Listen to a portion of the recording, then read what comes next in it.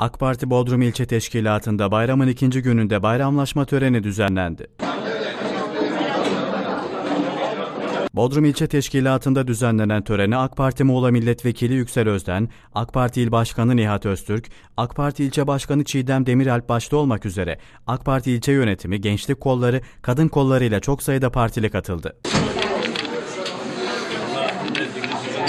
Yoğun katılım nedeniyle bazı partililer salonun dışına taştı. AK Parti İl Başkanı Nihat Öztürk yaptığı açıklamada tüm Muğla'yı gezdiklerini ve son durağın Bodrum olduğunu kaydetti. Öztürk, tüm Bodrumluların da bayramını kutladı. Partililerle tek tek bayramlaşan milletvekili ve yönetim kurulu üyeleri daha sonra bir konuşma yaptı. İlk olarak konuşan AK Parti Bodrum İlçe Başkanı Çiğdem Demiralp, tüm Bodrum halkının ve partililerin Kurban Bayramı'nı kutladı.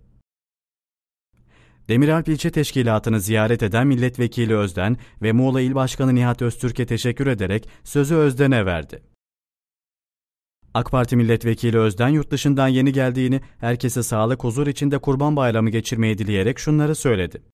Gezi olaylarından itibaren herkes Türkiye'yi daha bir yakından takip etmeye başlamış. Ve ilk kez genellikle işte başbakanımıza, hükümetimize selamlar, saygılar, teşekkürler hep gelirdi. Bu sefer onun yanında Türkiye halkına da selam edin diyen kaç kişi oldu.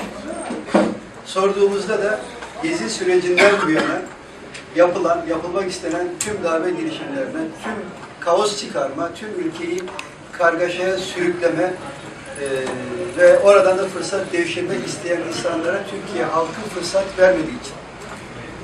Çünkü bu egemen güçler hakikaten istedikleri ülkede istedikleri kargaşaya çıkarabileceklerini hep inanmışlar ve yapmışlar. Yani 3-5 tane sivil toplum kuruluşu gönderiyor, basıyor parayı. Şeyde 251 tane İngiliz ajanı vardı. Taksim'de 251 tane bilinen verilen yani öylesine elemanlarını da gönderiyor. Olduğu rivayet hakikaten birçok yerde konuşuldu. Ondan sonra kargaşayı çıkarıyor. Ondan sonra o kargaşa içerisinde de artık istediği e, istediği her neyse onu gerçekleştirmenin planlarını yapıyor. O bakımdan e, bunu özellikle sizlerle paylaşmak isterim.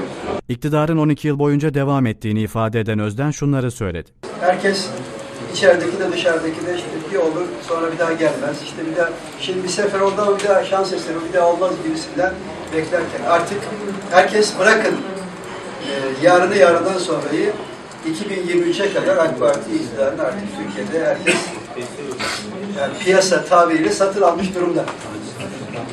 Benimsemiş, kanıksamış, kabul etmiş kabul etmiş durumda. E, bu bunun arkasında her bir teşkilat mensubumuzun, mensubumuzun başkanından en üstteki delegemize, gönüldaşımıza kadar verdiği e, çaba var, destek var, dua var, gayret var. E, onlardan dolayı hem bu selamları sizlere aktarmış oluyorum, hem de bir kez daha tebrik ediyorum en doğru yerlerde bu sevdayı, bu sevdayı paylaştığınız, bu bayrağı tek tuttuğunuz için, yukarıda tuttuğunuz için.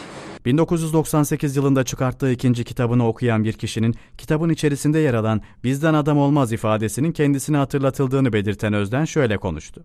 Birçok şeyin yanlışlığı ediliyor ama çözme ümidi, o sorunları aşma ümidi yoktu ve ondan dolayı sokakta, kahvede, televizyonda, e, radyoda, basında birçok yerde klişe bir ifadeydi. Bizden adam olmaz. Herkes sorunu biliyor, çözümü biliyor ama kimse kımıldayamıyordu, adım atamıyordu. Ondan dolayı da bizden adam olmaz diyorduk değil mi? Peki şimdi şöyle bir zihinlerinizi yoklayın. En son ne zaman duydunuz ve neye ilişkin duydunuz? Bir defa şöyle bakın, bu artık pelesenk olmaktan çıktı. Ben hiç kimse kullanmıyor demiyorum. Diğerlerde kullanmıyordu, kullanacak durumlarda vardır belki. Ama böylesine yaygın hani pelesenk dedikleri herkesin dilinin ucunda olan, herkesin her durumda söylediği bir ifade olmaktan çıktı. Biz böyle günlerde yani bu şu an dünyanın içinde, bölgenin içinde olduğu bir durumda bu güçte olmamız kadar büyük bir nimet yok. Şöyle bazı şeylerin değerleri aksiyle daha kolay anlaşılır. Yani bir şeyin değeri o şeyin olmaması durumunu zihninde canlandırdığında e, asıl ortaya çıkar. Şimdi yani AK Parti iktidarlarına e, herkesin herkesin oy versin vermesin takdir ettiği, benimsediği, kiminin açık, kiminin e, gizliden e, takdir ettiği, ifade ettiği birçok durum var. Ama bir şeyi bakacak olursak, şimdi şöyle düşünelim. Bölgenin nasıl ateş çemberi içinde olduğunu görüyorsunuz. Bölge sığınacak tek liman. Kuzeyimizden, güneyimizden, doğumuzdan, her tarafımızdan. Hatta batımızdan da. Onlar da ekmek kapısı olarak geliyor. Böylesine krizlerin olduğu dönemde AK Parti öncesindeki koalisyonların hükümette olduğunu düşünelim. Allah muhafaza. Allah muhafaza. Hiçbir bakanlık, hükümet bakanlığı gibi çalışamıyordu. Her bir partinin bakanlığı kendi derebeyliği gibi çalışıyordu. O zamanki koalisyonda hepsinin itaat ettiği bir hükümet otoritesi bile yoktu. Bakanlar Kurulu toplanan Bakanlar Kurulu toplandı. aylarca. Benim yaşım 67 bilir. Evet. Bakanlar Kurulu toplanıyor.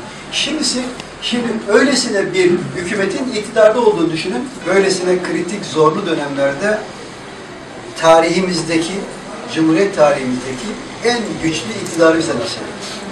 Yaklaşık bir saat partililere hitap eden Özden daha sonra konuşmasını tamamladı. Bayramlaşma töreninde çeşitli yiyecek ve içecek ikramlarında da bulunuldu.